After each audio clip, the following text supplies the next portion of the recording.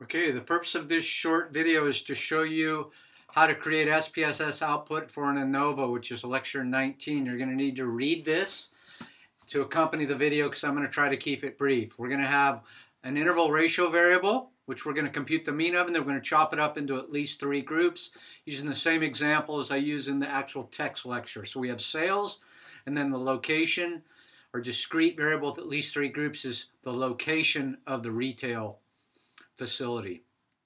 Okay, so go to SPSS, open up your data set, you go analyze, compare means, one-way ANOVA. Sorry, push reset. Up here in dependent, that's the variable for which you want to compute the mean. You could use age here if you wanted. Um, I'm using sales in thousands. And then the factor, that's the variable with, that has at least three groups. You guys could use education. Another cool one would be income up here and then level of education down here. See if that the mean income changes level of education. That'd be kind of cool. Okay, go to options, choose descriptives, continue, and OK. Okay, so you'll notice that this output here matches the output in the two lecture files. Okay. So I'm just going to use this. So we had Three groups, front, middle, and back. There's their mean sales in thousands. Long story short, here's what you're looking for.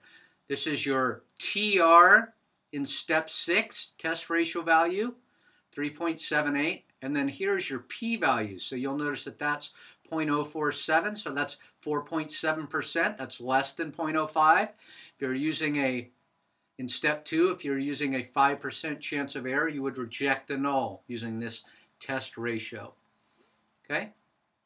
And then I show you the language of what you would do, and then I also show you an example if you're going to fail to reject and all, how would use the language. The language on this problem is pretty darn hard, so you're definitely going to have to read this, but I'm trying to keep it short on this video. So again, you're going to go analyze, compare means, one-way ANOVA, put your dependent variable here, your independent variable here, go options, click descriptives, continue, and then OK.